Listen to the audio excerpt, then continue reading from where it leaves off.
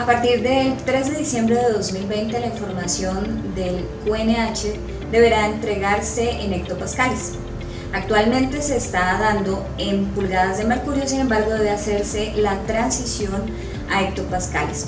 En este caso, observamos la información del QNH en este lugar, en los EIBUs. Aquí usted puede observar la información tanto en hectopascales como en pulgadas de mercurio.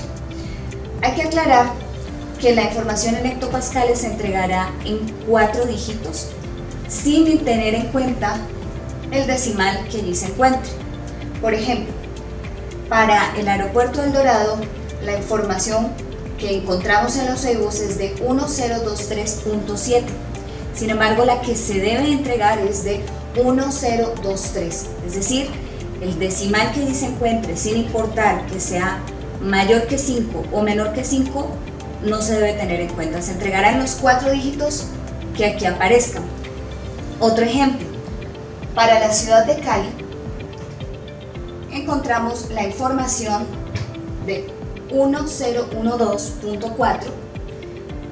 Sin embargo, no consideramos el decimal y la información que se entregaría sería de 1012.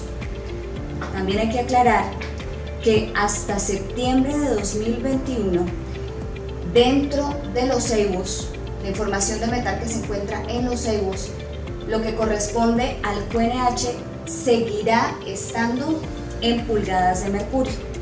Esto mientras se realiza la transición y el ajuste de la base de datos de los EIBOS.